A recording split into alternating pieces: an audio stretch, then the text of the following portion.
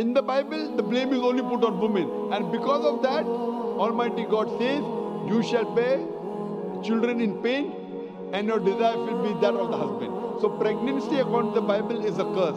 But if you read the Quran, pregnancy is not a curse, pregnancy uplifts the woman. Allah says in the Quran in Surah Nisa, chapter 4, verse number 1, respect the womb that bore you.